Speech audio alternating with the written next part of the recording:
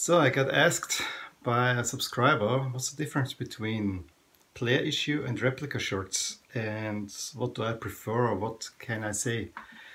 And the first thing that always comes for me to mind is that player issue shirts, at least the most recent ones, are usually a lot tighter fitting, more athletically fitting.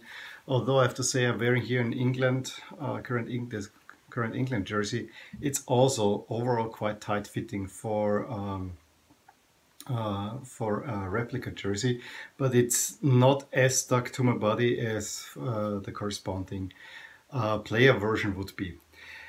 I have a few shirts where at least I have the same styles in replica and in uh, player issue and it's probably a good uh, way to compare things.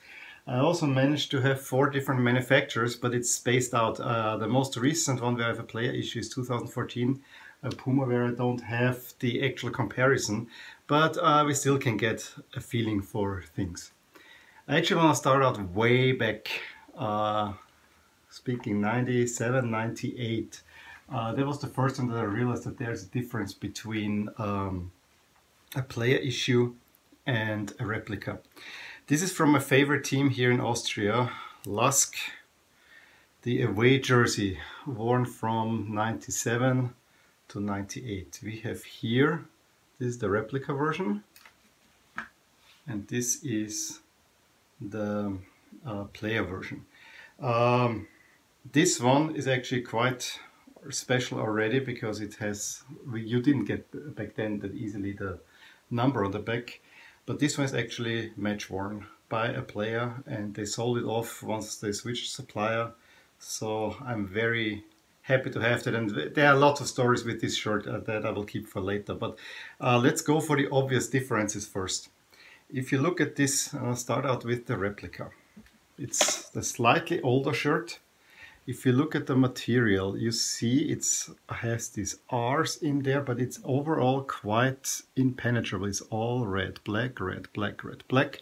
And if you look at it, it's all almost a little bit see-through. And the material feel is kind of thin. I mean, this was a 90s style shirt where the materials for the Rep Leopard were general a little bit thinner. Still smooth, but kind of thin. Also note that we have the Reebok logo here on the uh, red stripe and we have the uh, club logo on the black stripe, kind of a little bit far out. Uh, the sponsor is roughly the same. Let's compare this to the player version. Well, since it's an Austrian shirt, the first thing that everyone will kind of notice, there's a lot more commercials on there. Uh, namely, here on the collar, there's even a commercial. Then on the back, there's this big commercial plastered all over. But uh, for its time, this is actually quite nice because there are not too many. But what we have here, first of all, note that the cl uh, club logo is much more centered.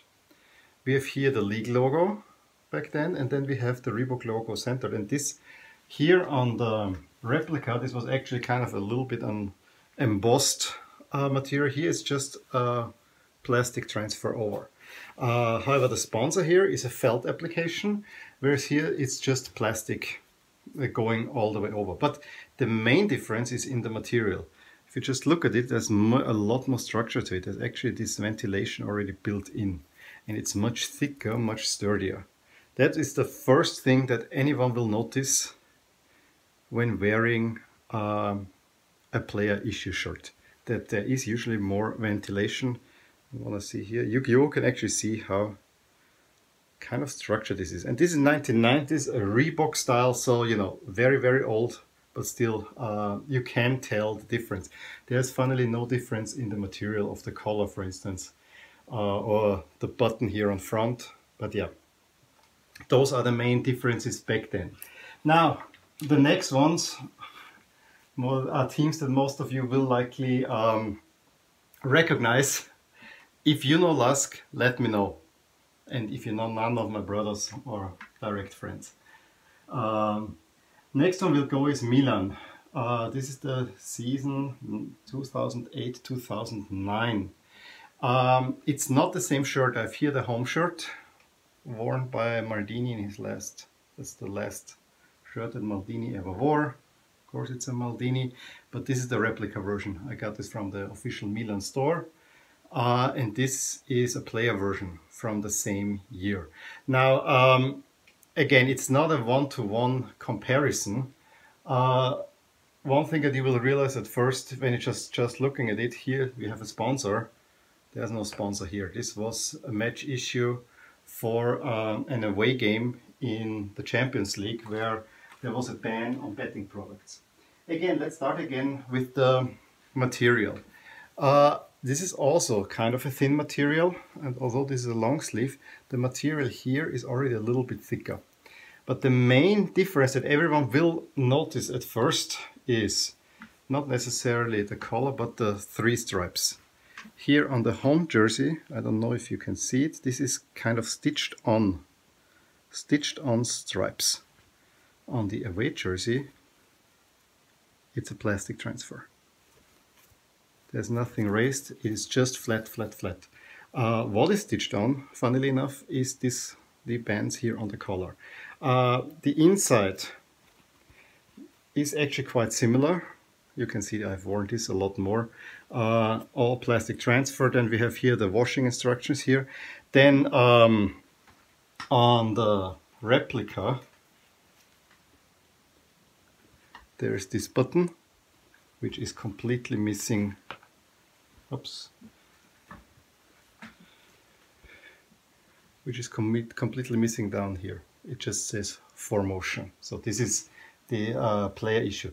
Also the Adidas logo here is a plastic material, just glued on there. However, the crest still is stitched on. You can look at the inside.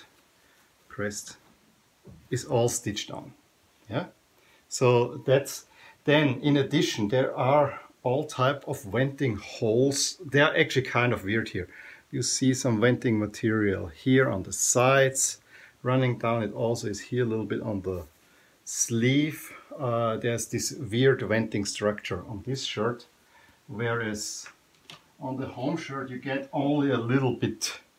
And it's not uh, from wearing, you cannot really feel it. It's right here on the side. This is supposed to be some venting. Honestly, this is much less um, letting through some air than the other. Uh, the other funny thing is that for this one, the front is a different texture than here the side panels. The side panels are closer to the player version. And of course this here, the Adidas logo is sewn on. So here you see already some minor difference between player version and actual and, and the replica. But where we can make a direct comparison is with the Spain away from 2010 and the France away from 2010. This is literally the same style, just different shirts. And I probably have to use this opportunity to make a video about this shirt in a minute too. The France is of course the player issue, the Spain is the replica. And same as I said for the Milan shirts applies here as well. This here is stitched this here is nicely, uh, I mean, it's a cloth material that's stitched on. You again have the venting here that's kind of, you know, they, yes, they made a material that has a little bit of holes, but it doesn't do honestly a lot. Here, this is just a plastic over. This is not stitched at all. This is just a plastic. And the venting is much, much, um, it's a much thinner material that actually really lets air through. So uh, then next comparison, see the three stripes here on the Spain shirt, it is there sewn on, here it's a plastic transfer. Also same goes for the collar, the RFEF here, this is stitched on. It's actually quite nicely done. If you look at this, it's all stitched on. There's an extra thread. The back here is plastic. I'm not sure if this is, you can really see that, but this is really a major difference. Now, as for the material, I have to say that they're actually quite comparable, but again, the France shirt feels sturdier. This is a thinner material. The France shirt is a thicker material. So uh, clearly, this is from the material from the material uh, superior product. Uh, what I like about this one better is of course that this is all stitched. This that would not come off after lots of washing. This one I'm afraid may eventually come off sometime. You see I don't have a number here, although this might actually look nicer, makes it more balanced out here. So this is Adidas. Differences in Adidas shirts between replica and um, player version. If you ask me what do I prefer more, the replica. Not because I like the better material on the player version, but I like the stitching. I really like that this is stitched. The uh, Nikes here is all plastic. This is stitched on, this actual fabric. I always like this one better. But of course, uh, for a player, if I was playing more, of course the player version. It's, uh, it's a no-brainer. Um, let's say Nike from the same period. You already saw my Croatia jersey. I have a US jersey from the same period. Why do I have a US jersey? I was living in the US at that point. So um, this is replica, this is player version. If you go back to my Croatia video, uh, you will already have seen that you can actually see through the back here. You cannot do this on this one, although it is white. Let me hang this here. There is no see-through here. This is all one material. It is also a much um, wider cut. And look here, we have we have some ventilation that actually is working. This is similar to what the Adidas Player version has. But if you look at what the Player version has, that's true ventilation. If you're running, you feel this. And the back, since it's all see-through, more or less, this is really well ventilated. Of course, both of these shirts have um, USA Hrvatska on the back and you know the similar this band-aid style here. But if I compare the materials this is um, um actually this has a, a, slightly bubble feel on the inside. This is all smooth. Completely different material. Um, the other the last thing that I was saying both have on the inside a logo. We have here on the inside Uvijek Vjerni and on the US we have the Don't Tread on Me snake logo. But uh, yeah, and then we have this band is here. That's only on the replica. Um, and there was one more thing about this. Yeah, this logo is stitched on. This logo is also stitched on. So Nike did not stitch on the logos on, uh, did not use plastic transfer until a little bit later.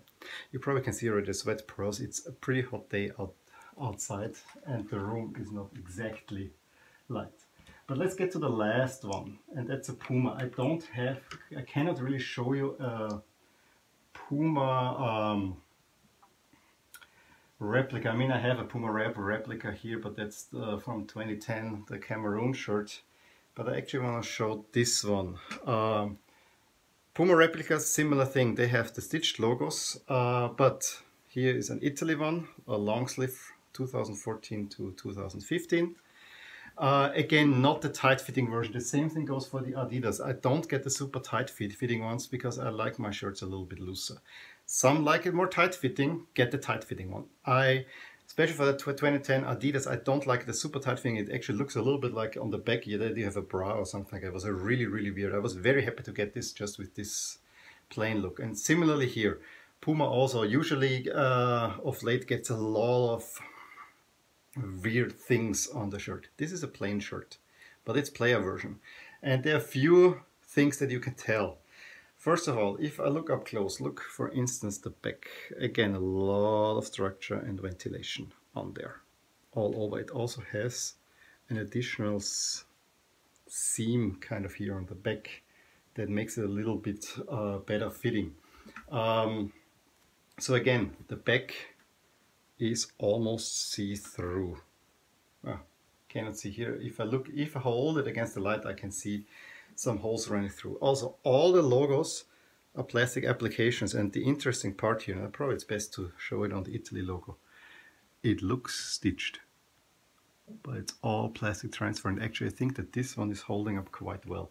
Another thing that's for the player version, but I'm not so sure anymore, is the button collar, these buttons you cannot take off. This is just for show. This doesn't even open the collar here. It just shows the Italy uh, flag, but this is completely non-functional. I would love to see the real, uh, the replica version, not the real version. The replica version, if it's more functional there. Um, I have a feeling it's also not, because the France jersey 2018 that I have, the button, yes, you can take the button off, but that's about it. But here you cannot even button the jersey it is always open. The collar is kind of white, uh, but yeah, this is a really nice jersey. The other thing that is, you can see here these white stripes that they have on front. Since this is not the tight-fitting version, this is just one stripe, but there is more structure to it on the really tight-fitting version. And of course, there are some ventilation panels on the side, um, which go all the way to the back. Well, what do I like better? As I said, I like the replica, I like the stitch stuff, but everyone their own. Uh, the player versions, if I can get them cheap, of course I will get them. All these shirts I got for, for relatively cheap. Some people like tight-fitting jerseys better. Uh, not necessarily me, I like it looser. Maybe I'm a kid from the 90s. We liked looser clothing. Although I don't mind now if it's a little bit tighter fitting. I have to say that the first tight-fitting shirt that I had were the Kappa shirts of the 2002 Italy and uh, Roma. And I actually liked really how close it was to your body. It really felt like a second skin in a way. And had this material that was very, very um, nice a little bit like this or the Uruguay Puma shirt that I have. They have a similar texture feel to those Kappa uh, early Kappa shirts. I haven't had a, uh, seen a Kappa shirt as of late. But uh, as you can see, there are definite differences between a player issue and replica. As I said, the material is usually better on the player issue. I even think if you would have cats, there are less pulls on the player issue. I mean, I haven't had cats uh, in a while. But this one, my first play issue, this was definitely while I was around cats, there are no pulls on this one. Absolutely none. I was holding cats with this one. Uh, on the other one, I'm not sure if there's now because this is one that I also know. Yeah, there are a few. If you look here on the front, there are right here, just a few that you can see. Nothing really that visible. Uh, so the player issues are more sturdy in that type of sense. Um, what became a big issue for me is, and you can see it on the Iniesta's kind of washing off, I, all these plastic materials I don't trust to be really sturdy and long lasting. And for that reason, I like it when there's actual cloth, like this England shirt. This is stitched on, this is not a plastic, this is a real thing. Yeah, And then I take the thinner cheaper feeling material. I think you still get a good jersey for the price. Uh, I mean, price-wise, it's no, there's no comparison. If I have to choose at full price between a rep, replica player version, replica wins out. Uh, it's just the economics of it. Um, however, if I get it sale, like on classic football shirts, for instance, um, I might be swayed by a player issue because it has just this special feel. I'm happy about all these player issues that I have here. They're all a little bit special. there's always something about it. So this is nice to have for a collection. Um, but again, my person, I'm a little. I made this decision uh, probably about four years years ago. Finally, I wanted to get a Brazil shirt. I had the replica. I had the player issue, and in the end, I decided for the replica because it was just a little bit nicer. With I just like the crest being of cloth material. Well, those are my two cents on it. it was quite a long video. I hope you enjoyed it and let me know what you think, player issue or replica. Of course, match worn for the real collectors, but you know, I just want to have the shirts. I don't necessarily need to have them uh, worn with all the sweat and on there. They get sweaty enough when I wear them. So that's what I think about it. But let me know in the comments. Uh, if you like this video, give me a thumbs up, subscribe to my channel, and I will talk to you soon. If you enjoyed this video, please hit like and subscribe to my channel.